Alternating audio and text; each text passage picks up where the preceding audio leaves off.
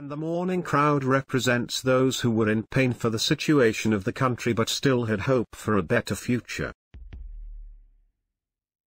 Tuberculosis, TB, is a serious illness that mainly affects the lungs. The germs that cause tuberculosis are a type of bacteria. Tuberculosis can spread when a person with the illness coughs, sneezes or sings. This can put tiny droplets with the germs into the air. Another person can then breathe in the droplets, and the germs enter the lungs. Tuberculosis spreads easily where people gather in crowds or where people live in crowded conditions. Tuberculosis, or TB in latent form, is carried by a quarter of the world's population, and almost 5,000 people die of TB disease every day. But TB can be cured. So, what is TB exactly? Well, it's a bacterium that looks like this. Yes, a tube.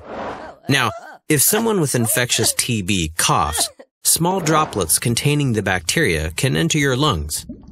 In most cases, your body's defenses will kill the bacteria, so you won't fall ill or spread the disease.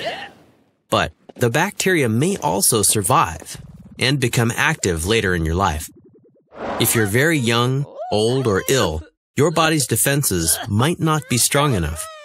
The bacteria can spread throughout your lungs and body, causing huge damage.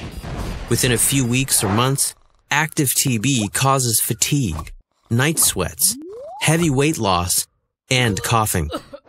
This can be treated with a combination of TB drugs. The course takes at least six months and needs to be completed with the right combination of drugs. If not, the bacteria become resistant and a variant develops that is very hard to treat. So it's more important than ever to find and treat infected people, creating a world free of TB.